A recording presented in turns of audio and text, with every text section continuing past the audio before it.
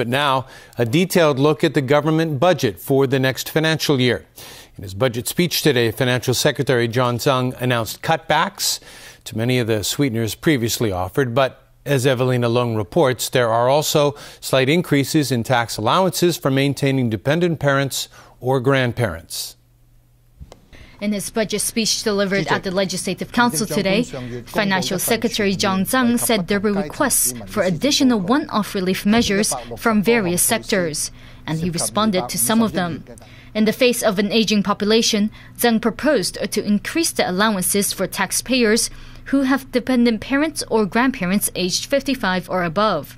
Meanwhile, for those with parents or grandparents in residential care homes, the deduction ceiling for elderly residential care expenses will be raised from the current $76,000 to $80,000.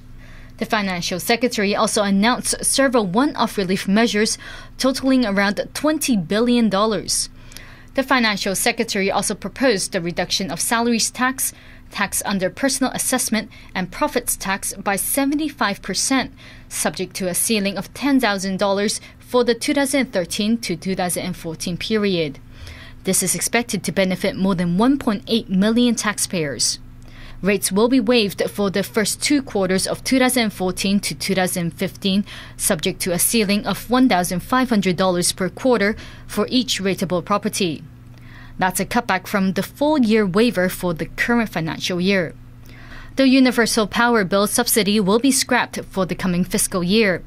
But there will still be a one month bonus payout of welfare allowances, and the government will pay one month's rent for public housing tenants. The financial secretary did not rule out increasing taxes in the future.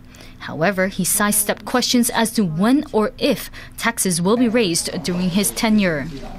What is important is that the whole population uh, decrease would have an economic impact for foremost. Uh, and, and that, that is something that, that we need to look at. And that's what has prompted us to have a much closer look at the, the financial position. Uh, and we have come up with different scenarios.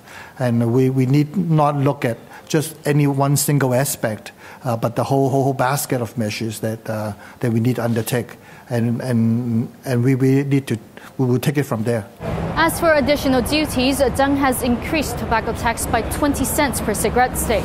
This, the financial secretary said, is to lower the health risks of the public.